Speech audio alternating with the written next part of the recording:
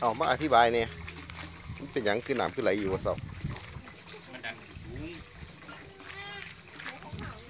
ไปตัวนี้ก็คือหนาฝน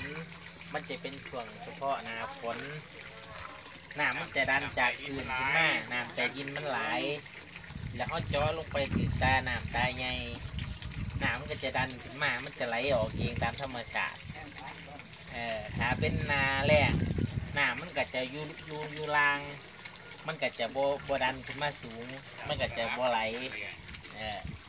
มันจะเป็นเฉพาะช่วงหนาฝนโบเบิร์ดน้ำโบเบิร์ดเพราะว่ามันน้ำใส่ดินมันไหลที่บ้านนั้นทั้งเออมันออ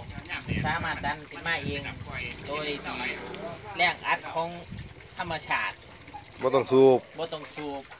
นี่ก็จะไหลออกทีละ ถ้าเขาปิดนี่ไว้ปุ๊บมันก็จะไหลหล่นขึ้นมาที